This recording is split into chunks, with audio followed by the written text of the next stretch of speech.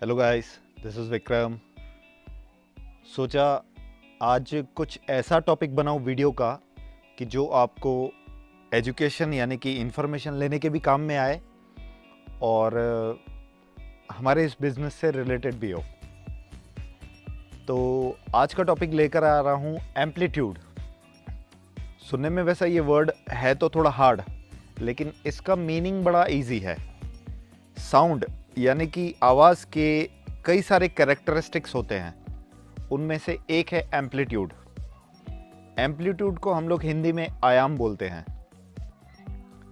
सबसे पहले तो हम लोग पहले साउंड क्या है वो समझ लेते हैं। साउंड एक तरंग है, जो कि हमारे एनवायरनमेंट में चलती रहती हैं। एग्ज़ाम्पल लेते हैं कि साउंड मतलब एक पानी में फेंका हुआ पत्थर, कि जिसको पानी पे टच करने के बाद अपनी तरंगे वो छोड़ देता है। साउंड भी बिल्कुल वैसा ही काम करता है। जैसे ही आप कुछ बोलते हैं या किसी स्पीकर से थोड़ी भी साउंड निकलती है तो इर्द गिर्द के एरिया में वो अपनी साउंड की तरंगे छूट जाती हैं।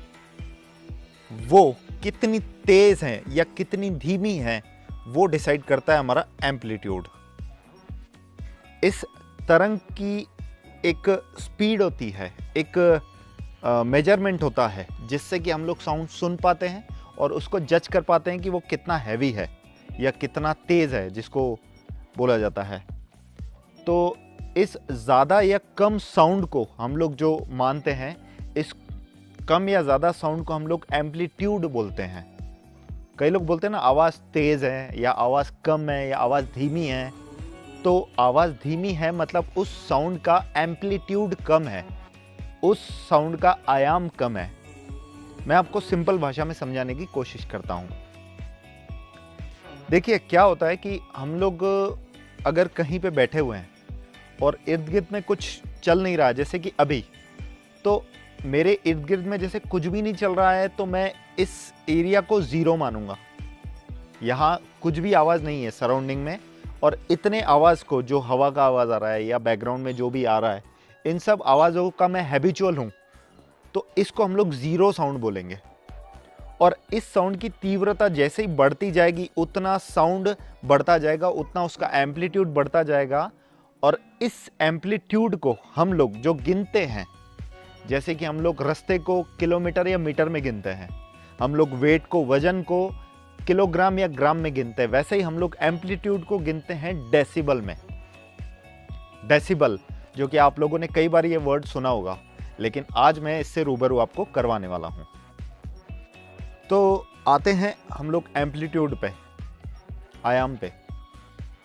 देखिए, ये साउंड की जो तरंगे होती हैं, उनको फील किया जा सकता है, सुना जा सकता है हमारे माइक के थ्रू, यानी हमारे कानों के थ्रू।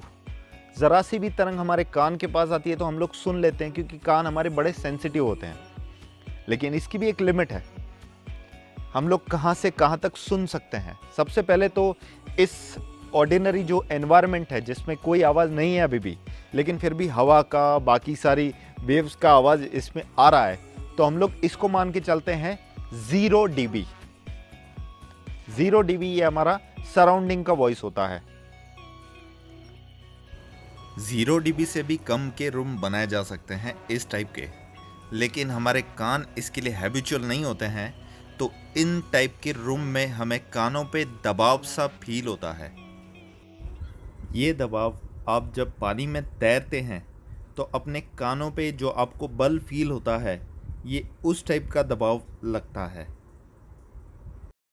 अगर मान लेते हैं यहाँ हवा आ जाती है, और ये पत्ते वगैरह हिलना स्टार्ट हो जाते हैं तो वो जो साउंड उभरेगा वो जो साउंड निकलेगा वो होगा 10 डीबी का 10 डीबी पत्तों के हिलने की आवाज़ जो आती है वो 10 डीबी की होती है। वैसे ही कई सारी आवाज़ें जैसे कि आप मान के चलते हम लोग अगर कोई अ, आप घर में अगर होम थिएटर बजा रहे हैं घर में टीवी का वॉल्यूम बढ़ा के सुन रहे हैं तो ये वॉल्यूम या ये होम थिएटर जो आपका बजता है ये 70 डीबी बजता है 70 डीबी तक। कई सारे होम थिएटर्स में लिखा जाता है कि पी एम पी ओ है और बहुत ज़्यादा वॉटेज है। ये 70 डीबी से ऊपर नहीं बचते हैं। चलिए हम मान लिया कि अगर उससे ऊपर जाना है तो। रोते हुए बच्चे की आवाज़ सुनी कभी आपने। बच्चा जब रोता है छोटा तो वो 80 डीबी तक का साउंड प्रोड्यूस करता है। मान लेते हैं कि आप किसी सड़क किनारे खड़े हैं, आपसे कुछ 10 मीटर दूरी पे से एक ट्रक जा रहा है तो उस ट्रक से प्रोड्यूस होने वाला जो साउंड है, वो 100 डीबी का होता है। इतना साउंड वो ट्रक पैदा करता है, जब वो हॉर्न नहीं बजाता है। हॉर्न तो किसी और ही लेवल पे चला जाता है। हमारा भी एक सुनने की एक लिमिट होती है ह्यूमन ईयर्स की हमारी। हम लोग ना 120 डेसिबल तक आराम से सुन सकते हैं।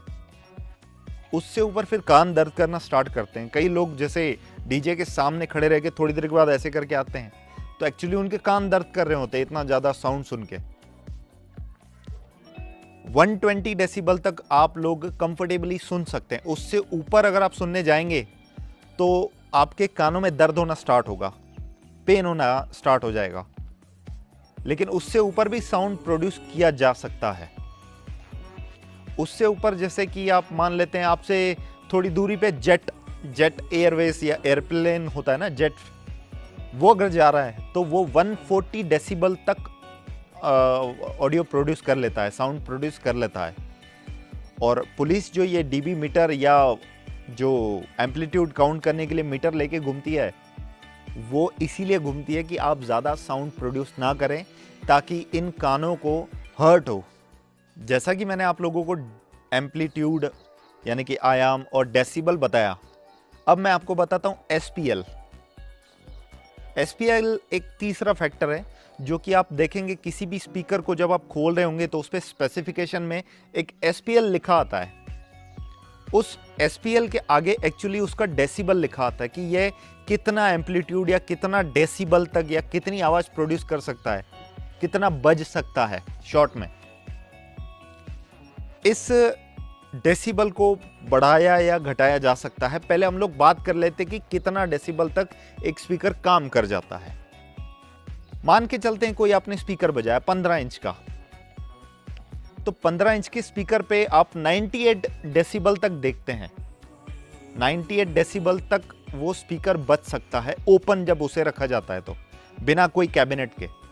उतना 98 डेसिबल का वो साउंड प्रोड्यूस कर लेता है। अगर आप उसको ओपन में चेक कर रहे हैं तो उसका एसपीएल कितना हुआ? 98 हुआ। लेकिन जैसे ही आप उसे कैबिनेट में डालते हैं तो कैबिनेट का वॉल्यूम मिल जाता है, उसे उसे एयर वेंटिलेशन या एयर पास उतना मिल जाता है तो उससे ट्यून प्रोड्यूस होती है। एक आवाज़ जो डिफरेंट टाइप की होती है। खुले स्पीकर का और कैबिनेट में लगे हुए स्पीकर का वो ऑडियो जो डिफरेंस आता है, वो यही होता है कि कैबिनेट उसे एक ट्यूनिंग दे देता है। उस ट्यूनिंग के बाद इसका एसपीएल यानी कि एम्पलीट्यूड बढ़ जाता है। स्पीकर को कैबिनेट में इसीलिए लगाया जाता है ताकि उसकी आवाज़ बढ़ जाए, उसकी ट्यूनिंग मधुर लगे, सुरीली लगे।